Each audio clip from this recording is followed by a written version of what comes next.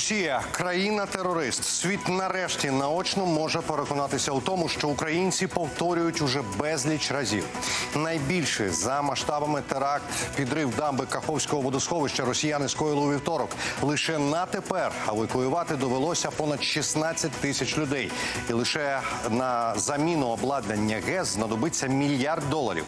Під водою 600 квадратних кілометрів української території. На ліквідацію наслідків можливо підуть десятиліття. Це рубрика Акцент. Мене звати Олексій Фадієв. І акцент сьогодні на російському тероризмі і на тому, що має Україна протиставити йому. І говоримо про це сьогодні з гостем студії, як завжди. Це сьогодні Олександр Коваленко, військовий експерт групи інформаційний спротив. Добрий вечір. Вітаю. Пане Олександре, перед тим як ну ми почнемо, що називається серйозну розмову, хочеться поставити ну таке трошки моральне питання. От дивіться, окрім еко геноциду. Виникло питання: взагалі, чи може підрив Каховської дамби в якійсь там е, збоченій логіці взагалі бути частиною воєнної операції росіян? Ну тобто, чи існує за цим, на вашу думку, якийсь розрахунок, нехай диявольський? Так, я впевнений, що дійсно російське командування розраховувало, по-перше, впливати на можливості збройних сил України по форсуванню Дніпра. Це була ось така задача якось завадити можливостям збройним сил збройних сил України форсувати Дніпро і розпочати, наприклад, якісь дії вже на лівобережній Херсонщині. Бо росіяни вони досить серйозно відносились до такого сценарію. І фактично після втечі з правобережної е, Херсонщини вони на Каховський ГЕС ще у 2022 році, наприкінці 2022 ро- року, розпочали завезення е, вибухівки. Тобто вони готувалися заздалегідь. Дійсно, побоюючись того, що можуть зробити Сили оборони України. Отже, це перший момент. Другий момент на сьогодні російського командування як не розуміло, так і не розуміє, де повноцінно може відбутися. Наступ Сил оборони України, тобто е, є багато варіацій, напрямків, е, якими силами та засобами, з якою кінцевою метою, але найголовніше того, що вони не розуміють дійсно, де це буде відбуватися. Тому е, для них є пріоритетом вже не стільки протидія наступу на полі бою, скільки робити все, щоб завадити йому. І така масштабна катастрофа, гуманітарна, екологічна, вона потребує значних ресурсів, щоб Відтягаються. так, вона потребує значних ресурсів, щоб вирішувати ось ці нагальні проблеми, які виникли з біженцями, з зруйнованим житлом, з екологією і так далі, і таке інше. Але вони не розуміють одного. Це в їх загальній системі центру о, прийняття рішень, як вони люблять так говорити, все зав'язано на загальний ресурс в Україні. За гуманітарний ресурс відповідають е, одні, за військовий інші. Тому це не має якогось критичного впливу на наші е, можливості по підготовці контрнаступу. Чи має ця катастрофа критичний, чи бодай якийсь, ну певно, якийсь так, але критичний вплив на а, театр воєнних дій, на ситуацію на ньому? Е, Як, е, як розглядати цю ситуацію загально е, в контексті контрнаступальних дій і всього всієї зони бойових дій? Я не знаю, який сценарій був у Генерального штабу збройних сил України щодо звільнення наших територій та е, наших наступальних дій на- найближчим часом, які розпочнуться. Але я не впевнений в тому, що превалююча роль у цьому сценарії, який би він не був, але вона приділялась саме форсуванню Дніпра.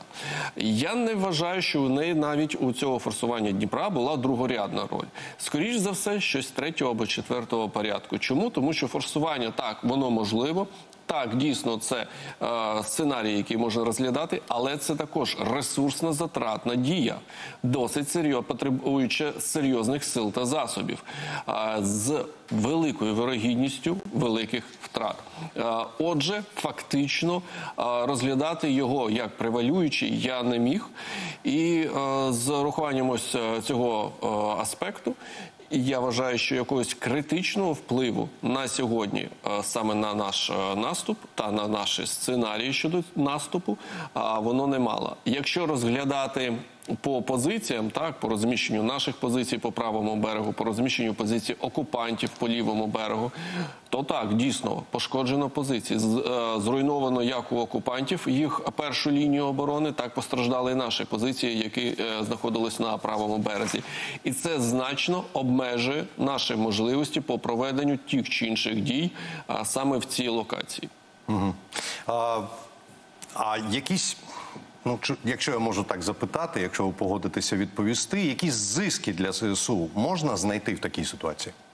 В якомусь сенсі так, тому що зруйновано в них було першу лінію оборони. Це дійсно так. В них зараз обмежені можливості на лівому березі по логістиці і так далі, і таке інше. Тобто можна перераховувати. Наприклад, та ж сама Кінбурзька коса. Логістика взагалі там зруйнована, і росіяни використовують або човни, або гелікоптери для перекидання своїх сил та засобів, а також для матеріально-технічного забезпечення підрозділів, які знаходяться на Кінбурзькій косі. Окрім цього, ми розуміємо, що це значно сповільнює їх можливості по відновленню навіть е, е, лінії оборони. Тому фактично вони і собі також зробили таку велику великі втрати по своїм лініям оборони, по можливостям свого контингенту, який не найкращий. До речі, по комплектації він не найкращий зі всієї зони бойових дій. І хоча б на лінії оборони вони могли б розраховувати, а зараз ні. А приблизно два тижні тому в коментарі Радіо Крим Реалії ви зокрема вказали, що дивіться, у разі просування збройних сил України вглиб південного плацдарму далі. Багатокрапка певної миті, миті вся територія тимчасово окупованого півострова е, перебуватиме в зоні ураження ракетами Storm Shadow. Зараз е, зберігається ця ситуація, чи це вже неможливо? А чому ж? Ну я ж ще раз повторюю, я не знаю, як будуть відбуватися наступальні дії. Але якщо ми розглядаємо варіацію з Запорізькою областю, то так, безумовно. А, сухопутні шляхи по звільненню півдня вони залишаються, не дивлячись е, навіть на е, катастрофу, яка відбулася е, зараз в Херсонській області. А стосовно причин катастрофи, от е, напередодні, здається, в коментарі для Радіо Свобода е, Олексій Данілов, секретар РНБО, та, зазначив, що заявив, що наказ про підрив дамби прийшов із Кремля, з кабінету Путіна, як він сказав. А, чи може це цей підрив, взагалі, цей, цей злочин свідчити про розгубленість чи бодай навіть паніку у кремлівських кабінетах? Так, безумовно. А саме паніка вже давно в них е, відбувається. Саме цей настрій відчувається. Це перманентна паніка. Декілька місяців тому мене, до речі, е, питали щодо їх лінії оборони, які вони зводять е, в Запорізькій області, в Херсонській області. Усі ці царі окопи і все інше. Е, Було питання, наскільки вони ефективні. Ну е, я відповідав е, згідно з тим, що дивлячись, як їх використовувати, але на що треба звернути увагу, тому що в них нема системності будівництва цих ліній оборони. Так, вони там батальйонного, бригадного порядку, але е, нема системності. Це говорить про те, що це все відбувається е, хаотично. Е, Чому воно відбувається хаотично? Знову ж таки, через нерозуміння російським командуванням, а що буде відбуватися, коли почнеться, і де воно буде відбуватися, в якому напрямку і так далі. І е, це вказувало на те, що вони дійсно в паніці. А нещодавно була е, низка подій, яка це підтвердила. Це, наприклад, е, е, дії наших диверсійно-розвідувальних груп е, в районі лівобережної Херсонщини, які також російська пропаганда розносила як почалося. А потім е, були. Розвідка боєм в Запорізькій області, яку також російські пропагандисти одразу почали розносити, як почалося. А ми побачили, як в них почали руйнуватися фланги. Вони не можуть тримати фланги біля Бахмуту. І коли ми перейшли до системних контратак, вони також розпочали це. Почалося навіть в Білгородській області, куди зайшли росіяни з Легіону та РДК, здійснюючи перший рейд в напрямку Грайворона. Навіть тоді вони а, в паніці заявляли, Вирішили, почалося. воно почалося. Вони, вони вирішили захопити Білгородську область. Ось і почалося ось цей контрнаступ збройних сил України. Отже, це все вказує на те, що вони дійсно в паніці. Скажіть, будь ласка, чи говорили вони, що ось воно почалося? Кричали, коли наші е, війська почали просто рекордно випилювати їхню артилерію в травні місяці. А, ну, буквально це можу вас знову процитувати, що ми маємо рекордну кількість знищеної російської артилерії, як ствольної, так і реактивної, як буксованої, так і самохідної, ну і так далі. Це ви а, м, е, в інтерв'ю НВ казали. А, чи можна казати, що е, в цих артилерійських умовно дуелях наші війська вже здобули перевагу? Чи ми маємо перевагу і яку? Технічну, Технічну. технологічну та е, якісну. Професійність наших підрозділів а, вона також впливає, але не кількісно. На жаль, поки що говорити про кількісну перевагу не можемо. Але за рахунок технічної технологічної складової, тобто класно. західні зразки артилерії, вони мають більшу відстань а, знищення об'єкту, дальність пострілу, точність набагато більша точність. Вони автоматизовані і так далі. Окрім цього, наші підрозділи мають достатньо вже досвіду у той час, як росіяни постійно повинні готувати нові артилерійські підрозділи. І там не вистачає досвіду. Вони знімають старі радянські е, гаубиці з збереження. Переважно на сьогодні це буксуємі. Буксуєма артилерія, тобто з самохідною артилерійськими установками в них проблеми. Перша проблема, ну вони м, закінчились, е, можна сказати, що так в користуванні великій кількості, і вони також повинні знімати з консервації. Але щоб відновити самохідну артилерійську установку, це треба набагато більше часу, аніж відновити, наприклад, буксуєму гаубицю. І зараз з'являється все більше е, старих радянських е, знятих з консервації гаубиць, які мають е, проблеми. Ну вони завжди мали проблеми з точністю, наприклад, але це не мобільна артилерія, і е, вони мають ось такі недоліки в мобільності на сьогодні, в точності, в дальності е, знищення об'єктів, е, пострілу, дальності пострілу. Отже, е, в технічному та технологічному перевага на нашому боці, але в них цих гаубиць велика кількість, дуже багато. Не треба багато часу на те, щоб їх відновлювати, тому вони кількісно все ж таки забезпечують а, по одиницям свої підрозділи. Це означає, що нам потрібно більше артилерії, чи нам потрібно більше якихось інших видів зброї, які би якісно переганяли артилерію? Да нам вся зброя потрібна. Усі, Все, усі давайте все, варіації, що є. все, що є, давайте так. Ну це правда. Але, це але якщо так. от в цьому реєстрі того, що нам треба виділити, якось ранжувати його, що нам найпотрібніше зараз, на вашу думку? Е, Якщо ми говоримо про артилерію, то безумовно нам потрібні як самохідні артилерійські установки, так і а, боксуємо також. А, Бо якісна М777, вона ду- дійсно дуже е, якісна гаубиця. А, Отже, боєприпаси до них відповідно. Боєприпаси, які дозволяють високоточно наносити удари, далекобійні, високоточні. І завдяки цьому ми зможемо мати ось цей тримати, хоча б якийсь паритет і поступово а, мати перевагу. А ви воєнний експерт, а війна це не лише пряма і груба сила, фізичні значить, зіткнення, але й психологія насамперед. А, скажіть, будь ласка, для того, щоб психологічно впливати на противника, чи нам потрібні далекобійні ракети? Скажімо так. Так, безумовно. Чи дрони. Ну і ми їх, ми їх фактично вже і маємо. Так, але Storm ще Shadow більш далекобійні. Ще більш. Що ми маємо в перспективі можемо отримати, на вашу думку? А є такий момент. Е, Ми можемо отримати різну номенклатуру далекобійних ракет, але вони усі будуть обмежені по відстані польоту. Все одно, оскільки це, скажімо так, експорт, умовно кажучи. Томагавки нам ніхто не дасть. експортні. А з чого ми їх будемо запускати? Ну, просто питання. Томагавк не дадуть, окей, не дадуть. А навіть якби і дали, з чого б ми запускали його? А, у нас є кораблі, відповідно, з пусковими для цього. Ну ні, звісно. Атакамс. Атакамс, можливо, ми можемо отримати Атакамс, чому ж ні, особливо зараз. Я думаю, в Білому домі а, все ж таки а, переглядають своє відношення про передачі нам Атакамс, але знову ж таки з обмеженою відстанню 300 кілометрів. Непогані відповіді російським терористам, я би сказав, навіть натяки, натяки ще не відповіді. А пролунали е, кілька разів в Москві і Підмосков'ї е, за допомогою дронів. На як ви оцінюєте на тепер українську дронову ну індустрію, скажімо так? Я не знаю, чому я повинен її оцінювати, то яке вона Ну, має відношення до подій в Москві. Ні, до подій в Москві ніяких, а наша індустрія це так до слова.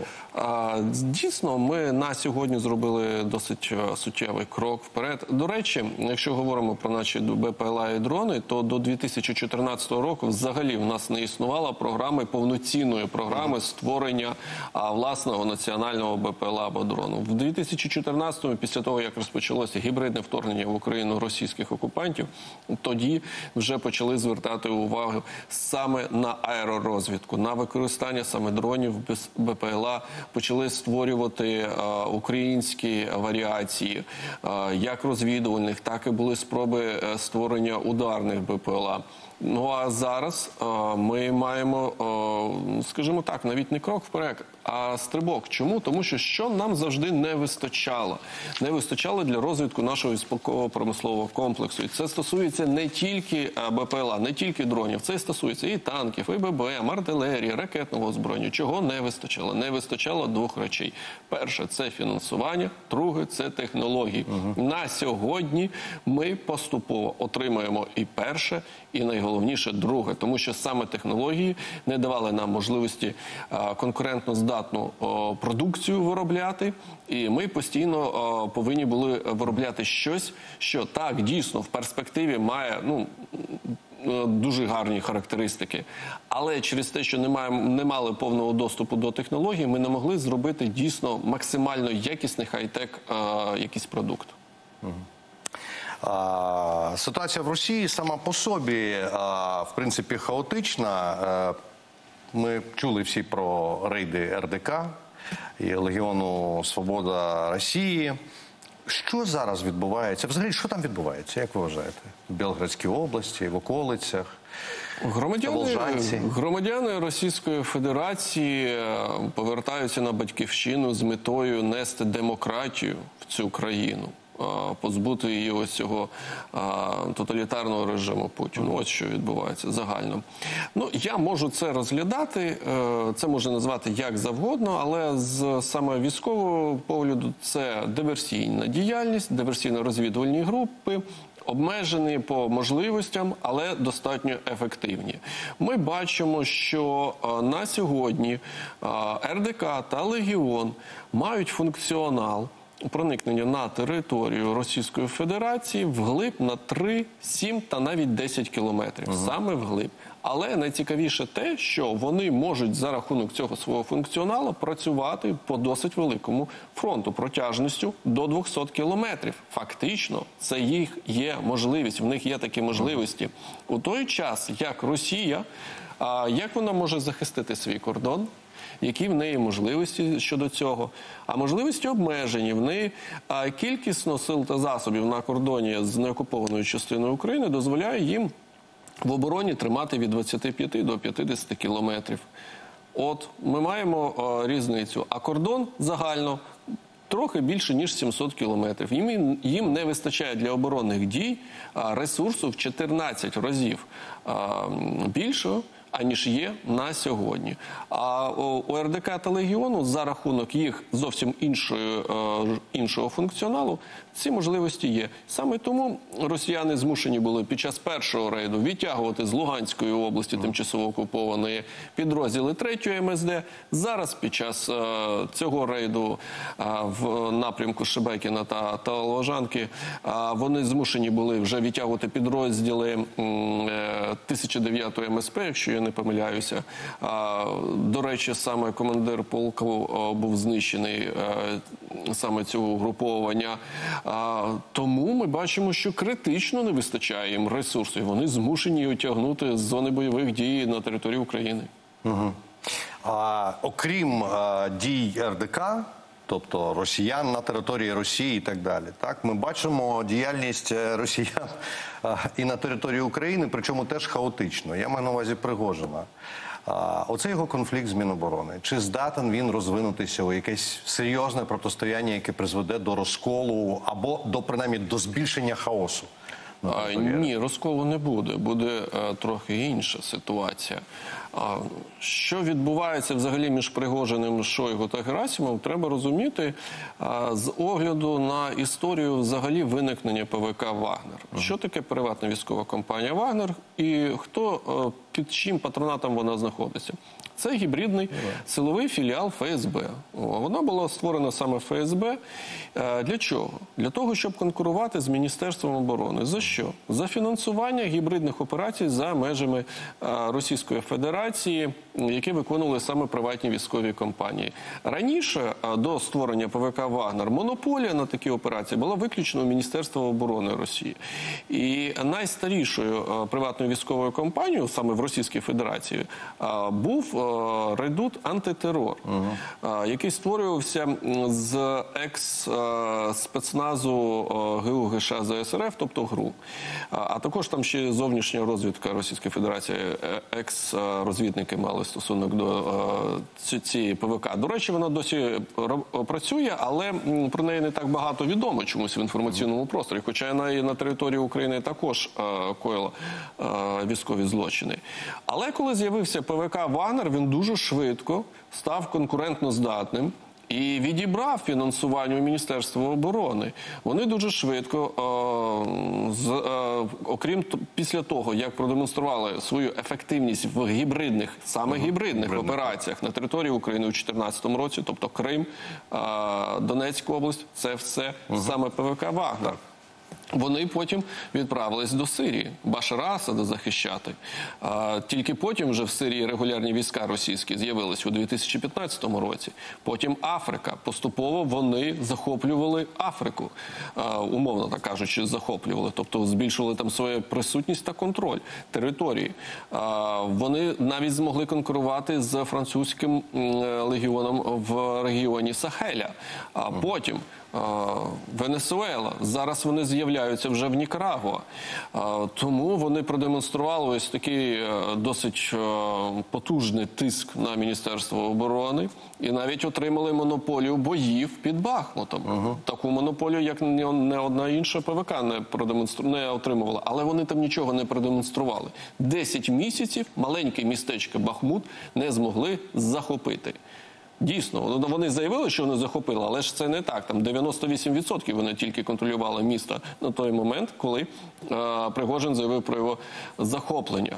А, але це все саме у форматі е, війни за фінансування. А зараз відбувається зовсім інший е, момент. Зараз вже війна за владу. І е, Чим була пов'язана ця істерика Пригожа? Все, ми уходимо.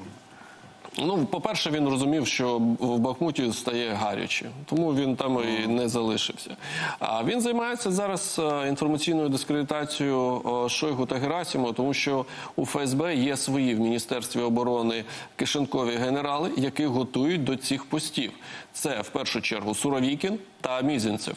До речі, в дуже чудових відношеннях е, з м, е, Пригожиним.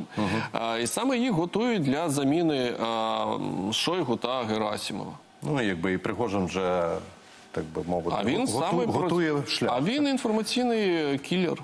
Інформаційний кілер саме для Шойгу і Герасимова. Ситуація, за якої в Росії, окрім Другої армії світу в лапках, існує ще ПВК Вагнер, існує РДК і Легіон Свобода Росії, так? Аксьонов, гауляйтер Криму, почав значить, вербувати людей для чогось. А для чого, до речі, на вашу думку? Теж створює якусь приватну військову компанію. Ну, от схоже на те. Імені Аксьонова. Імені Аксьонова, так. Чи Айвазовського, чи кого? Ні, Айвазовський вже не може, то український. е, Газпром створює свої приватні військові компанії, там е, Така полум'я, факел. от, е, така кількість приватних е, військових компаній і інших компаній веселих на душу населення, що називається. Чи є це ознакою ну, кризи, що наближається, чи війни всередині Росії, яка наближається, як вважаєте? А, можливо, не виключно. Чому? Тому що а навіщо потрібні ці всі приватні військові компанії в такій кількості? З'являються нові. Ні, ну ми бачимо, Таке що враження, там що хтось щось знає там всередині. а, Тут ось у чому Чи планує? а, велика була реклама, така масштабна реклама діяльності ПВК Вагнер. Але знову ж таки, в а, саме рамках повномасштабної війни вони себе не продемонстрували аж ніяк. Взагалі.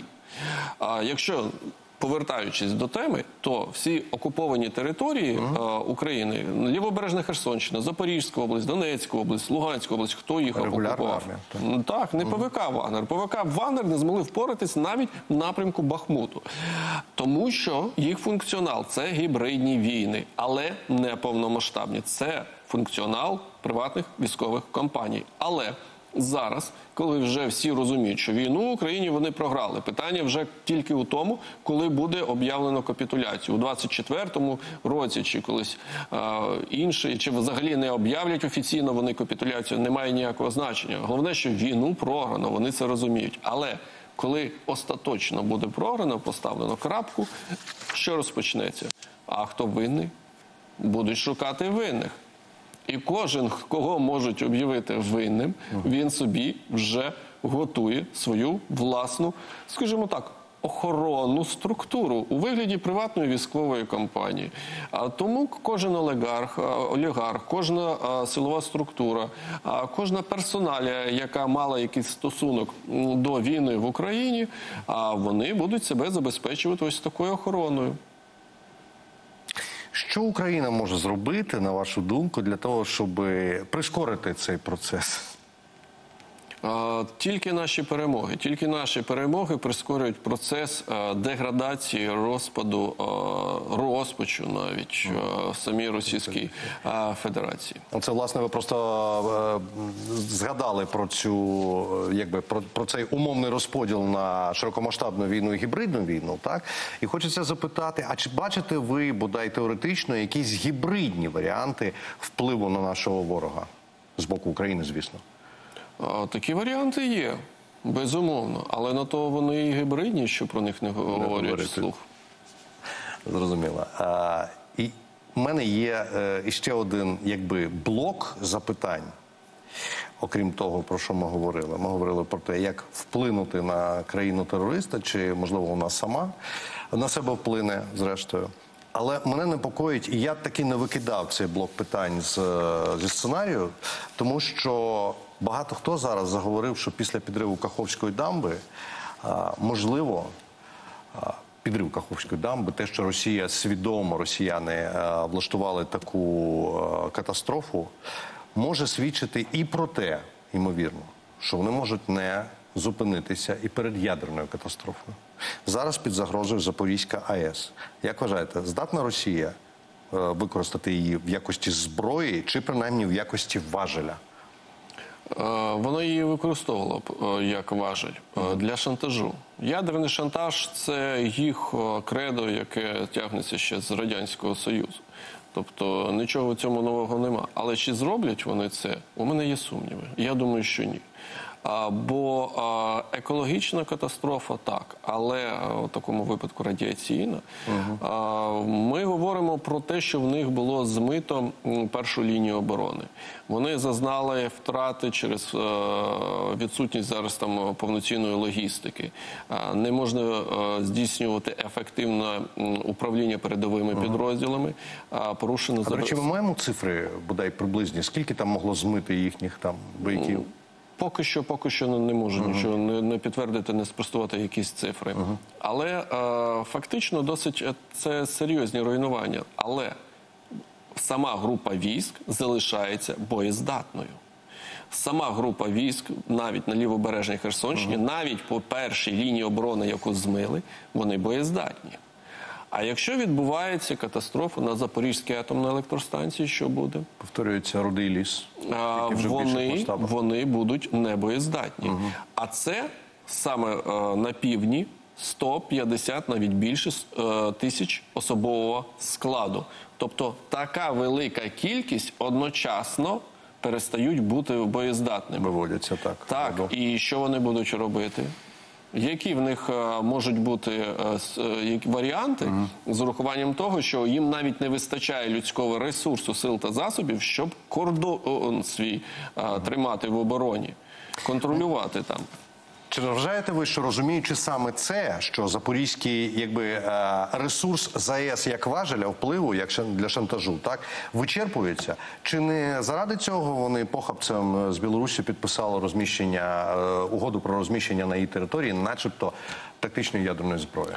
А вони ще у 2022 році про це казали. Так, але вони Восени. раптом педалювали цей процес. Буквально все було підписано там за один день, а далі Лукашенко просто сказав, що типа Ну це також Приємно. елемент ядерного шантажу, але виникає питання: а навіщо це було потрібно? Просто для демонстрації, мабуть, Власне. просто для демонстрації, тому що на території Білорусі нема об'єктів, де можна зберігати, обслуговувати ну, начебто до ядерну 1 липня вони їх збудують, кажуть. Вони, Ні, ну, вони, в Калінінградській області сім років вже будують А, ну да. сховище для ядерної зброї.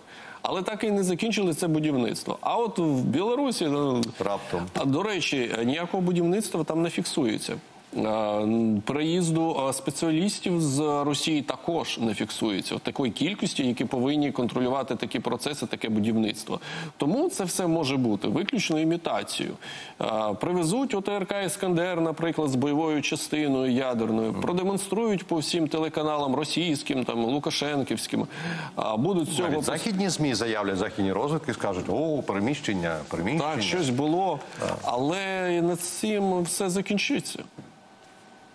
Які в них ще є козирі? Чим ще вони можуть шантажувати світ, Європу, Україну? Я не знаю. От тільки ядерна зброя, це все, що у них залишилось. А Тобто вони- найближчим часом, я правильно розумію, що найближчим часом ми будемо багато чути від кремлівських ботів, від кремлівських змі, від прокремлівських західних змі про те, що ядерний апокаліпсис, ядерний апокаліпсис. До речі, приклад був буквально позавчора, тому що видання відоме аж бігом, що називається, воно називається Нью-Йорк Пост. Ну тобто Нью-Йорк Таймс, Вашингтон Пост, щось незрозуміле, оприлюднило там, США е, матеріал про те, як баба Ванга значить, передрікла е, ядерну катастрофу у 2023 році. Ну, ви розумієте, я посміхаюся як можу, тому що ну це зрозуміло, що це, це зливи. Найближчим часом ми будемо мати, напевно, таких багато. Дуже цікавий аналітичний матеріал. Абсолютно. Але, але буде багато, дійсно, буде багато ось таких а, заяв. І, до речі, будуть апелювати Коховською ГЕС завжди. А, будуть апелювати, ви бачите, які вони е, маніяки? Ви бачите, Вже є які... так. Вони не зупинилися перед цим. так, вони, але, але треба розуміти. Що, які будуть результати від, наприклад, підриву Коховської ГЕС, і що вони можуть продемонструвати цим, та які вони мають з цього, ну хоча б якийсь профіт мінімальний. Ну знову ж таки, форсування Дніпра ускладнилось. Так, це правда. А якщо вони підірвуть е, Запорізьку атомну електростанцію, то чим це закінчиться загально для них? І я вже не кажу про реакцію загально в світі, міжнародного світу, суспільства. Ну, звісно, МАГАТЕ багато там Та навряд МАГАТЕ, зробить, так, собі. але суспільство, але інші уряди і так далі. Якщо підбивати певний підсумок, у нас така трошки сумбурна розмова. Ми просто не могли ігнорувати тему Каховської ГЕС. Ну це зараз ну номер один, і говорити навіть вибачте, але з військовим експертом все одно треба з воєнним експертом, все одно треба про це. Країна-терорист поруч з нами, яка не знаю скільки там ще залишиться в тому вигляді, який, як ми її знаємо, але на тепер, якщо резюме, які в нас е, засоби проти цих терористів? Ну, по-перше, українська армія, її озброєння якомога більше, краще, е, не знаю, вище і сильніше. Найближчий е, саміт НАТО. Як вважаєте, є в нас шанси? Я все ж таки притримуюсь е, думки, що тільки після закінчення війни ми станемо членами е, Північно-Атлантичного альянсу. Так, прискорено дуже швидко, але тільки після закінчення війни.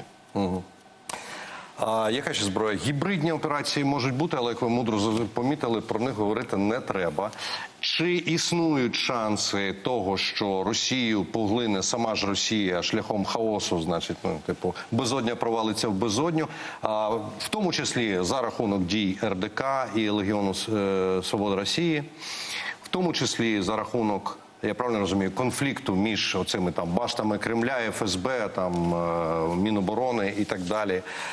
А, Чим, на вашу думку, от у вас напевно, що є бачення, от ви собі уявляли, як аналітик, як експерт, чим це може все закінчитися? Для Росії, звісно, може це розпочатися через внутрішню конфронтацію, але нам е, це, звісно, корисно. Чим це корисно? Тим, що тоді, тоді система управління в них не буде повноцінно працювати. Якщо не буде працювати система управління, то взагалі вони не зможуть е, тримати контроль над зоною бойових дій. А отже, для нас найголовніше це руйнування їх системи управління. А вона вже на цьому процесі. Я не можу сказати, що це е, кінеч, кінечна стадія, якась кінцева стадія. Ні. Але вже, й- вже давно і не початок.